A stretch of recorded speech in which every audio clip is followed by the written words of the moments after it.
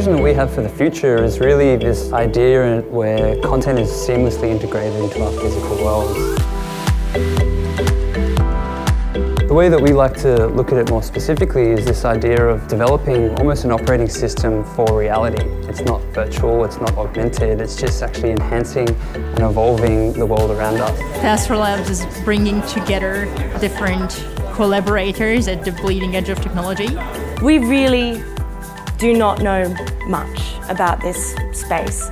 We're all playing here. We are all starting with an empty space and then we are building something that doesn't exist. It's really exciting to see the, these type of conversations happening here in Australia, and like I think that the AR, MR, VR, whatever that R is, space is, is so brand new that I think people don't really know where it's where it's going to finish up. The way that we are going to build great content is by working together and by sharing our skills and by being transparent. Learn by jumping to the deep end of the pool and it's okay to implement UI design and throw it.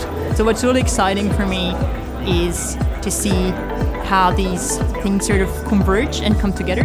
So this provides a new means to be an artist in a physical sense, but we're also looking at how we can bring people in remotely and have them have a sense of presence in a space that they're not actually in physically. You can be anywhere and still work with each other seamlessly.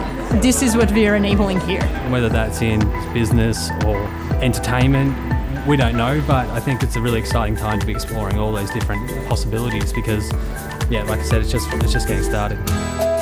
I think one of the things I'm loving about hearing from these speakers is how much the development process of something like VR, AR, MR is actually like the entrepreneurial journey. Just get involved, start ugly, get something out there, test it with users. It's incredibly entrepreneurial, and I think that's something that um, I'm really enjoying. The speakers you had on today really are, are in that space, and they're already forward thinkers, experimenting in, in what that future is going to be.